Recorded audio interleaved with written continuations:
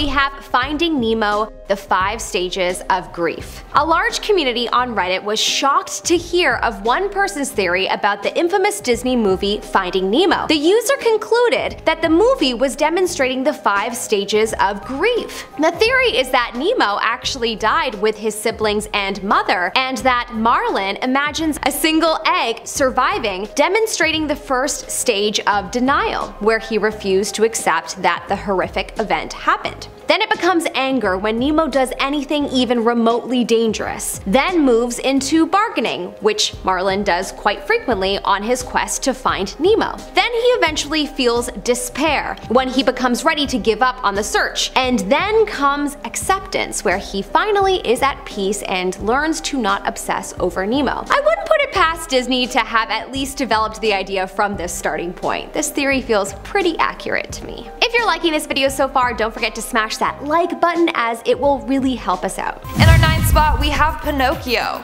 Not gonna lie, Pinocchio is a pretty messed up movie on its own. But my heart goes out to Geppetto. Now in the Disney movie, I don't think it said what happened to his wife. All we know is that he lives alone with his pets, carving wood. Poor guy was so lonely and all he wanted was a son to call his own. And when he finally does get a son, that little rat runs away from home and Geppetto risks his life to get him back. Geppetto deserved better. I mean, in the end, it worked out, but still, he deserved better. In our number 8 spot we have the Frozen Wisdom. I don't need to pray for this theory to be real or not because it's awesome and it just deserved an honorable mention. People are convinced that the writers of Frozen 2 may have perhaps gone to a lot of therapy in their time or worked with psychologists to help write the film because the film is filled with the most amount of wisdom. The type of wisdom you only hear from your therapist. Just do the next right thing, Anna sings as she makes the horrible realization that her sister Elsa and her friend Olaf have passed away. Anna sings about the grief that she is feeling and describes a heaviness that only people that have truly suffered from depression would understand. She goes on to coach herself to do the next right thing, take one step at a time. The best piece of advice you could give someone when they're in the thick of it all. In another case, the people of Arendelle have to evacuate and after the chaos,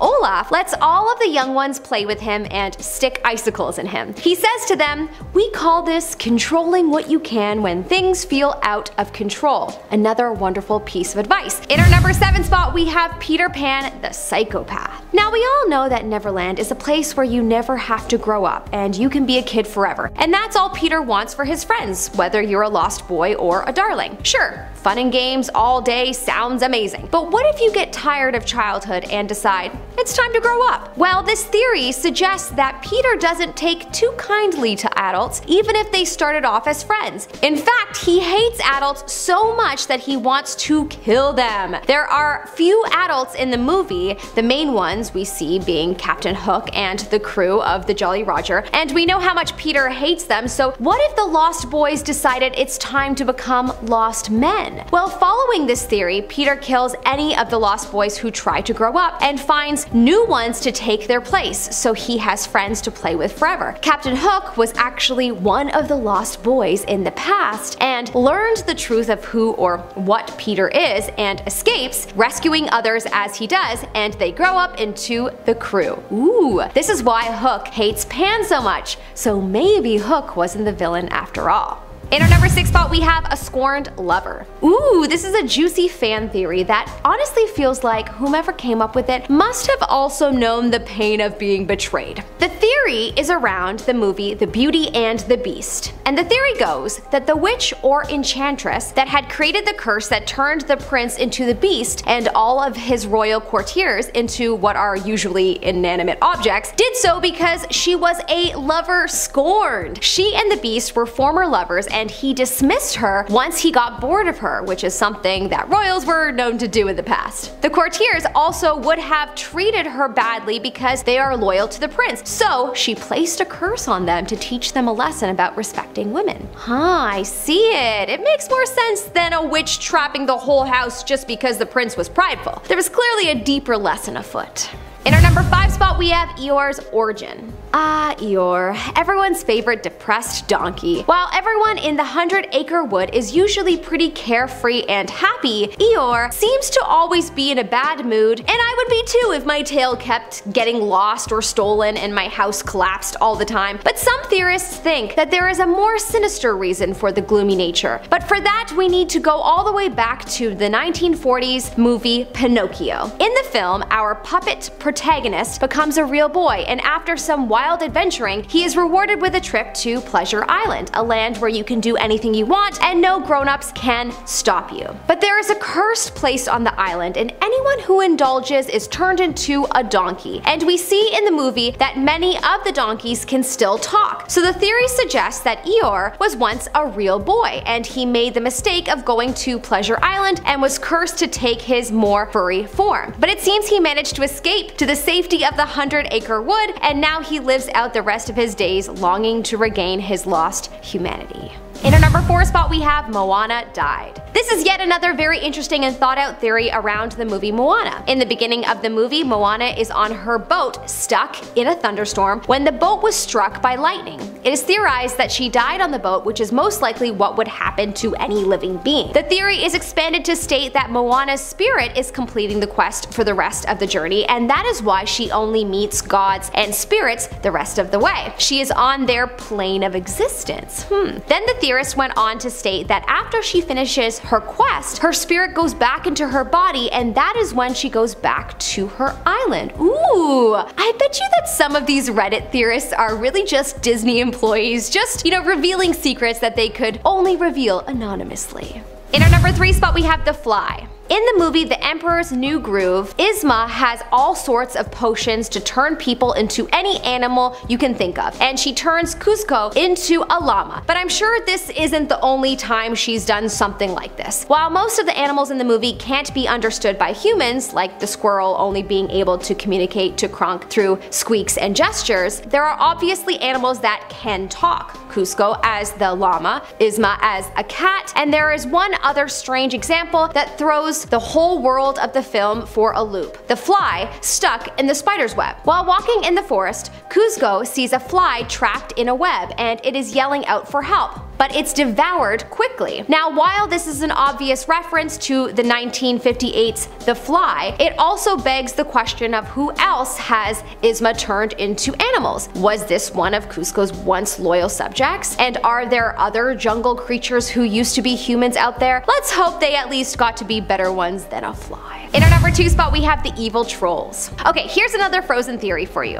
What if Prince Hans wasn't actually evil? What if he was manipulated by magic? A lot of fans online thought that Prince Hans, who had a plot twist of being the overarching villain of the story, was a little out of left field. He was seemingly so good for most of the story and then all of a sudden he was evil. well, one Reddit user had a very good theory on this. The trolls, who are a part of Kristoff's family, have some very rare magic and as they have Kristoff's best interests at heart, perhaps they used magic to change Anna and Hans's path and turn Hans evil so that Kristoff could end up with Anna. Hmm, arguably it's probably for the best as she actually had a friendship with Kristoff and all she knew about Prince Hans was that they had a few things in common like chocolate and sandwiches. Not a solid basis for a lasting relationship, but still, perhaps the trolls altered Anna and Prince Hans's path and they are the true villains of the story. And finally, we reach our number one spot, Walt's mom. Walt Disney, of course. Ever wonder why none of the princesses or main characters in Disney movies seem to have mothers, or at least ones who are still alive? I mean Cinderella, Bambi, Ariel, Belle, Jasmine, the list goes on and on. Well, some think that this is actually related to a terrible tragedy in the Disney family. In 1937, Walt and his brother Roy bought their parents a house with their newfound success, a dream for anyone. But unfortunately, this would be a terrible mistake. One day, their mother Flora called Walt to complain that their furnace was leaking gas. Walt sent some folks from the studio over to fix it and they did, or so they thought. The next morning the housekeeper returned to find Mr. and Mrs. Disney unconscious and dragged them out into the front lawn. Their father was taken to a hospital and survived but unfortunately their mother passed away at the scene. This tragedy was well known by those who worked at the studio and many thought that it affected the stories they told going forward. That Walt was so traumatized that he passed the trauma onto the characters in the films as a way to move on himself. Either way, way, it's interesting to look into the man who created an empire. Number 10, and we're going to be talking about Scar from The Lion King. Now, you don't really get lions that come meaner than Scar. Sure, he had a rough childhood, always growing up in the shadow of Mufasa, but nobody will ever be able to forgive him for killing his brother in such an evil way.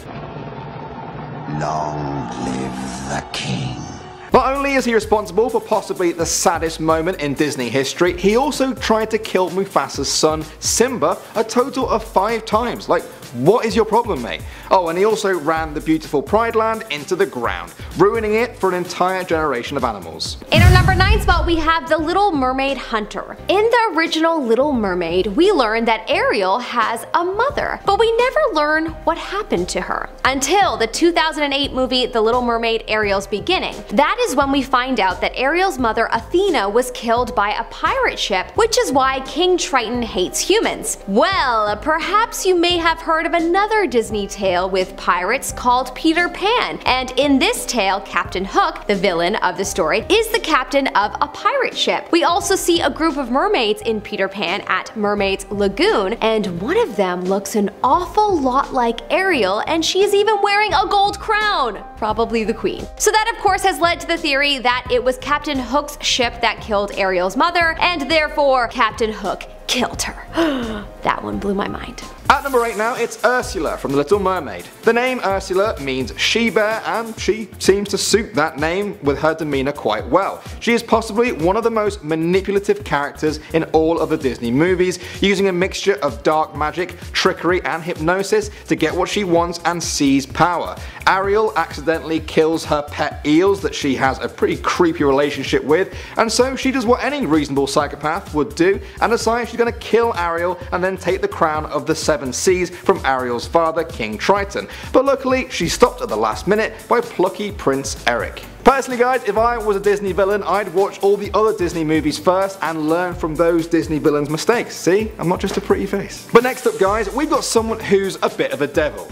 No, really, he's, he's literally the devil. And number 7 is Chernobog from the Fantasia movie. This villain from Disney's 1914 movie Fantasia takes evil to a whole new level. He appears to be the devil incarnate, and because of this, he doesn't commit evil acts for power or fame like other villains, he does it just for fun, and that's probably the most twisted part of it. In the movie, we see him summon the restless dead and demons and forces them to dance for him. Chernobog then plucks them at random to throw into the hellfire, grinning all the while. He is widely regarded as the most powerful Disney villain to date, which is pretty scary when you realise he was also created to represent pure evil. I remember being really small and watching Fantasia through my fingers like that, and if Chernobog scaring a little innocent 3 year old kid isn't the most evil thing in the world, I don't know what is. But barking her way into number 6 now, we've got a villain that makes me ashamed to be English. It's Cruella de Vil from 101 Dalmatians. Now you might think you know people that are selfish, erratic, self-centered and mentally unstable, but they're probably a delight to be with compared to Cruella de Vil. We've got a lot of villains on this list, but it takes a special kind of woman to do what this one does.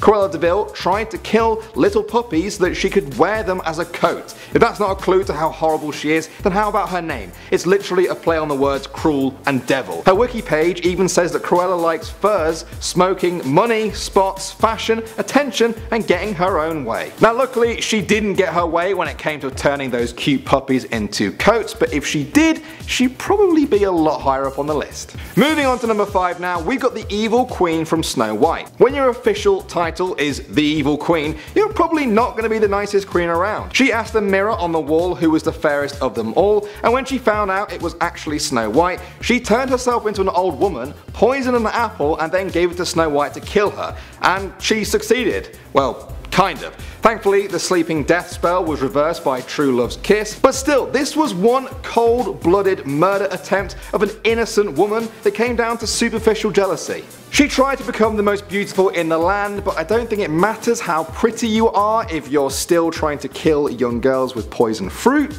Kind of a turn off for everyone. Alright guys, coming at number 4 now, we've got Hades from Hercules. Now let's get past the fact that he's one of the coolest villains in Disney, I mean come on, look at that hair for a start, because the truth is, Hades is not the nicest guy around. He hates his job as overlord of the underworld and decides he wants Zeus's job as king of the gods instead. He tries and fails to kill his brother Zeus and nephew Hercules, but not before putting them through a whole lot of suffering, including the death of Meg, the woman that Hercules loves. So there's a reminder guys if you ever find yourself in a job you don't like, you probably shouldn't try and kill your brother, your nephew, and then actually kill his girlfriend. It's pretty evil. And we're going to be staying pretty evil now guys as we move on to our number 3 and we're going to be talking about Sleeping Beauty's Maleficent. Maleficent is described as the incarnation of pure evil. She took offense at not being invited to Princess Aurora's christening and so decided to put the sleeping in Sleeping Beauty by cursing the princess to die before her 16th birthday by pricking her finger on a spinning wheel. Personally, I think that's exactly the kind of thing that stops you getting invited to these kind of events. People don't want to hang out with baby cursors. Luckily, the curse gets modified to only put the princess into a deep sleep and not kill her. She possesses great powers of dark magic which she uses to curse people, turn herself into a dragon, and generally cause chaos, sorrow, and despair for anyone she chooses, especially innocent babies. Nasty, nasty cartoon woman. But now guys, let's move swiftly on to our number 2. We're going over to China now to talk about Shan Yu from Mulan. Shan Yu is a bloodthirsty warrior who will stop at nothing to achieve his goal of conquering China. For him, murdering innocent people in cold blood isn't just part of his plan, it's one of the most satisfying things about it. When he captures two scouts, he sends them to deliver a message to the Emperor, but not before mentally torturing them by joking about how he only needs one to do the job. It's implied in the movie that Shan Yu was responsible for the mass murder of an entire village, including children like the girl who owned the toy doll that we see. He's just an all-round nasty bloke. Guys, it's one thing being a soldier in a war, it's another thing being a soldier in a war who makes sick jokes about the innocent children they've killed. Hmm. Now guys, coming in at number 1, we've got Judge Frollo from The Hunchback of Notre Dame. Now this character could probably contend with some of the most evil villains ever created, not just Disney ones. Judge Frollo's crimes are hard to list, but genocide is a pretty good place to start. It's thought that he killed countless Romany gypsies because he thought they went against his own religious beliefs and that they followed witchcraft and sorcery. He killed Quasimodo's mother and then forced him to live in the cathedral by convincing them that he was an abomination, and he claims to be a holy man, yet he set Paris ablaze because of his aggressive sexual lust for Esmeralda, a woman who had already said no. This is despite her being part of the very same race of people he was determined to exterminate, so he's a hypocrite. But in the end, he's about to try and kill Quasimodo and Esmeralda with that sword, and he's all like...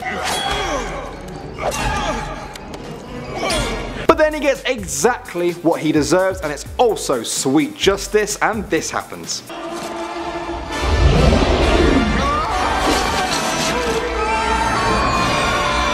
Yeah! Take that, Lord Frodo. That is what you get for just being a massive bad guy. Coming in at number 10, we have the Evil Stepsisters. Disney's movie Cinderella was based off of a book by the brothers Grimm, which was certainly super grim. So in the original book, when the prince arrives at Cinderella's house with the glass slipper, the sisters know their feet won't fit in it. So what do they do?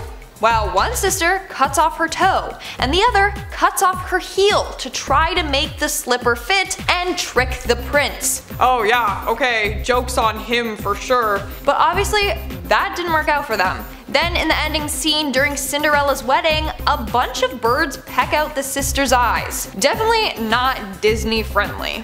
But before I get into number 9, make sure you hit that like button, it really helps us out so please do it.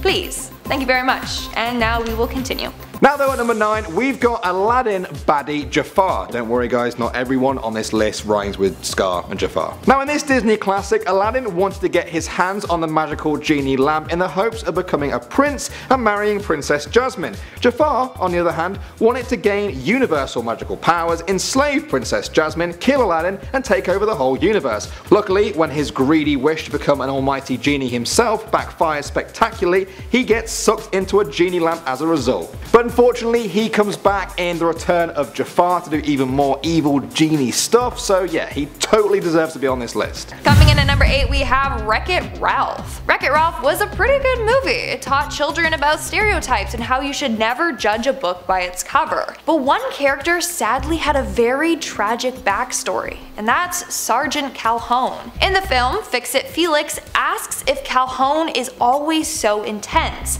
Another character replies saying it's not her fault. She was programmed with the most tragic backstory ever. And tragic it is. Basically, on Calhoun's wedding day, a cybug burst into the church and ate her husband. Calhoun defends herself and her wedding guests by shooting the cybug. But then we eventually learned that cybugs turn into whatever they eat, meaning it would have turned into her husband. Meaning, Calhoun shot and killed her own husband. That's why she acts so tough all the time. On the inside, she's depressed from the loss of her husband. In our seventh spot, we have Peter Pan. Peter Pan was based off the book by J.M. Barrie, but Peter Pan has a darker past than we realized. Peter was actually based off of J.M. Barrie's older brother, David. Sadly, David passed away due to an ice skating accident. It said that he created Peter to keep the image of his brother alive. He created Neverland as a place for his brother to go to, meaning that Neverland is a place for dead children. It's like a heaven. Then this makes the whole movie twisted. Why would Peter want to bring Wendy and her brothers to Neverland if they were still alive? Like was he trying to kill them?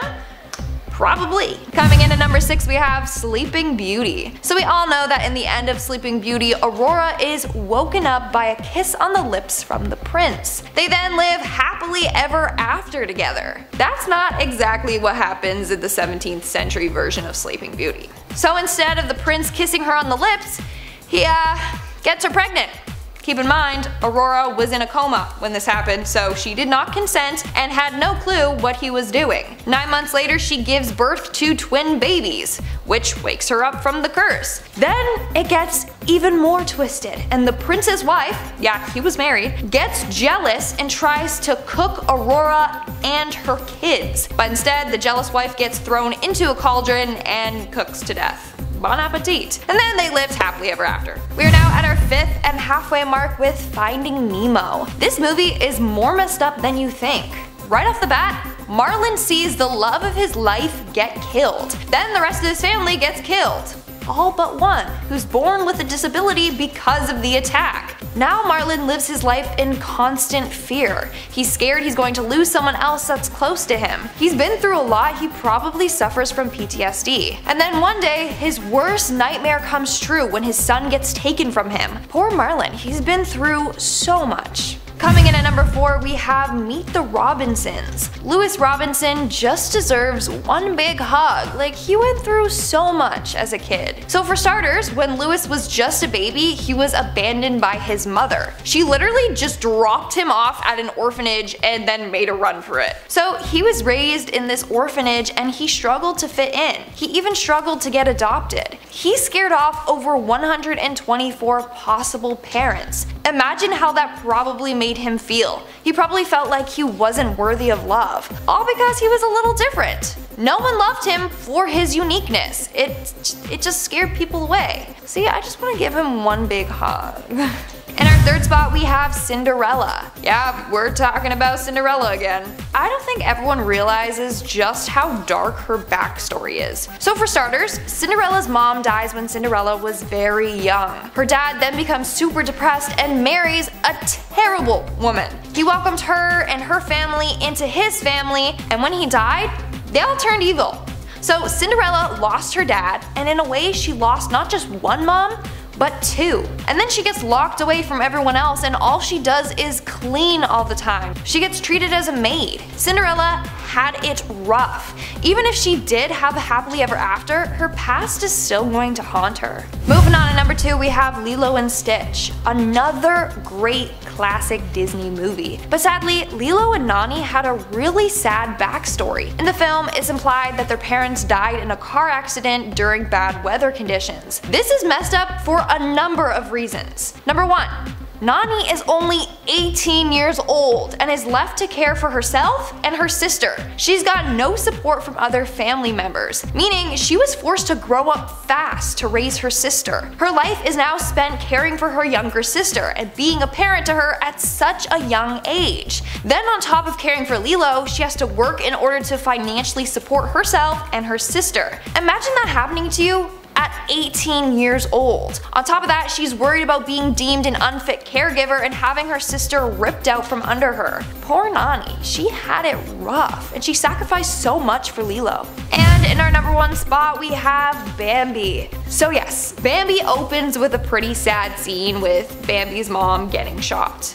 But did you know that Disney actually planned to show Bambi's mom getting shot on screen?